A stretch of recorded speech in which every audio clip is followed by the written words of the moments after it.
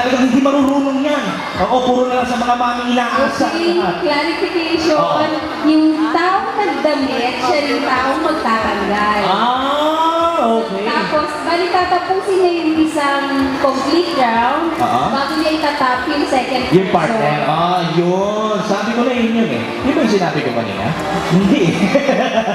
okay, so nandiyan ang pila nila. Yes. Okay, sige, pila na po tayo doon, mga daddy. Ah, Di ka na akin. Ako lang iikutan nyo para masaya. Dalawa kami. Ako sa daddy, si mom sa mom. Ayan. Okay, so pila na po tayo doon, mga daddy. Yan. Dito sa tapat ko ang mga daddy. Ito sa tapat ko tapat naman ni ma'am ang mga mami.